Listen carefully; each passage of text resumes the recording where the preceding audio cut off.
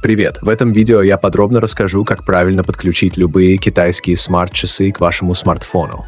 Многие сталкиваются с проблемами на этом этапе, и моя задача – помочь вам избежать самых распространенных ошибок. Я протестировал несколько популярных моделей, включая Series 7, 8 и 9, а также смарт-часы T800, T900 и T500 Plus Pro – они имеют схожие особенности подключения, так что информация подойдет для большинства современных моделей. Первый шаг – активировать Bluetooth и GPS на вашем смартфоне. Также важно, чтобы телефон был подключен к интернету.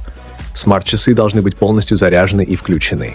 Убедитесь, что они не подключены ни к какому другому устройству, чтобы избежать конфликтов при сопряжении. Второй шаг – выяснить, какое приложение нужно для ваших смарт-часов. Это ключевой момент – от правильного выбора приложения зависит, сможете ли вы полноценно использовать все функции.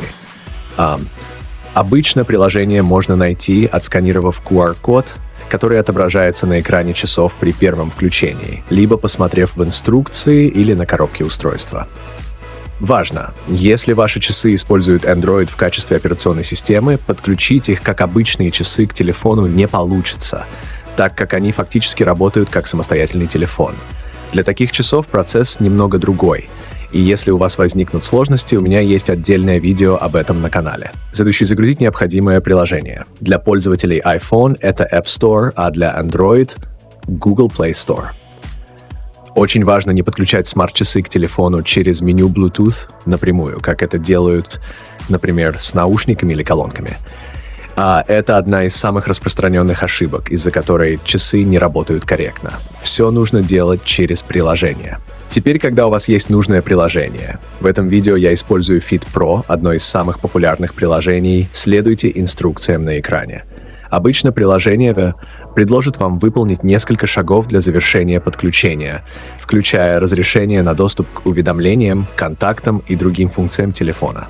Также убедитесь, что режим полета отключен на ваших смарт-часах. Это может показаться очевидным, но иногда такие мелочи блокируют соединение. Если ваши смарт-часы требуют другого приложения, например, H-Band, Lifen или другие, не переживайте, на моем канале есть видео для каждой из этих моделей. Ссылки я оставлю в описании к этому видео. После успешного подключения вы сможете настроить уведомления для приложений, таких как WhatsApp, Facebook и других.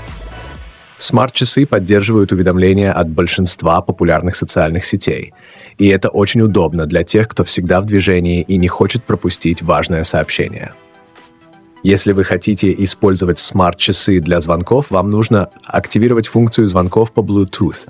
Это позволит вам принимать и совершать звонки прямо с часов – важно подключить часы к телефону именно в меню Bluetooth, после того, как вы подключили их через приложение, чтобы звонки корректно проходили через часы. Обратите внимание, после подключения часов к телефону все звуки, такие как уведомления и звонки, будут автоматически воспроизводиться на смарт-часах. Это удобно, если вы хотите использовать часы как динамик, но если это не нужно, можете отключить эту функцию в настройках. Если у вас остались вопросы или возникли трудности при подключении, обязательно напишите в комментариях. Я постараюсь помочь каждому. Спасибо за просмотр. Не забудьте подписаться на канал и поставить лайк, чтобы не пропустить новые полезные видео.